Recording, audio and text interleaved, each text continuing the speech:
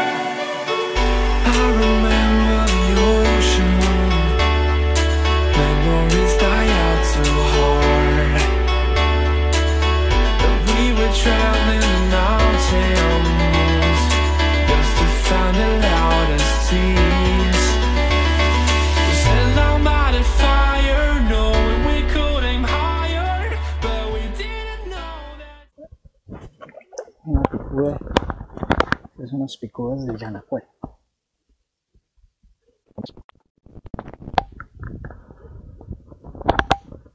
Son las, pues son las que vamos a pescar. Monstruos. Lindas estas picudas.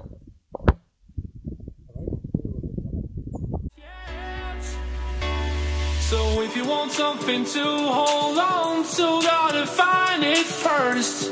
But here I am, cause I've been laying under palm trees waiting for the summer, knowing there's nowhere to go. Cause I am happy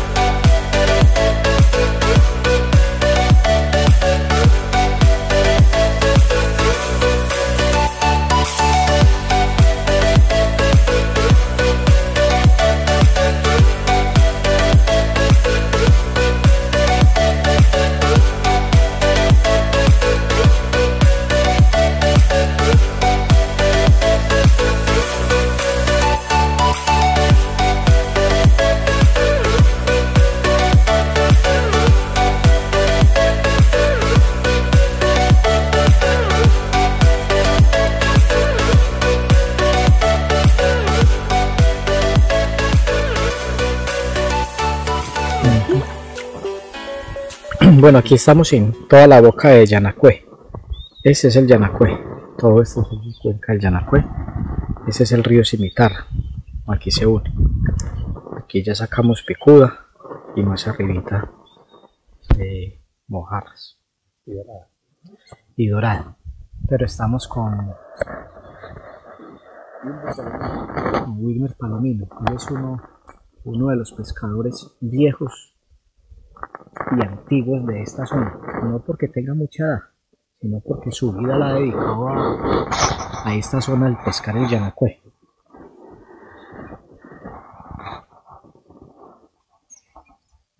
Mi padre me traía desde pequeño, desde los seis años, a disfrutar de la belleza de esta quebrada. Un privilegio de pocos. Y esto ha tenido todas las cuestiones políticas de, de Colombia y todo, y se ha protegido todavía. Han tenido un Es, paraíso. es una zona de reserva. Me estaba contando ayer que mm, ya la comunidad no permite matar la picuda eh, ni la mojarra azul. Se sustentan es del bocachico y otras especies. Claro, claro está, porque igual esto, estos ecosistemas son para las comunidades. Pero aquí ya se hace de una forma sostenible. Es un sueño de muchas personas, los que aman la pesca deportiva en Colombia, venir a este sitio a Yanacue, a un río de estos tan protegido. Gracias a Rodolfo, gracias a Palomino por permitir que Tiempo de Pesca Colombiano esté en un paraíso de esos. Y de entrada se voló la picuda grande, un monstruo. Muy grande.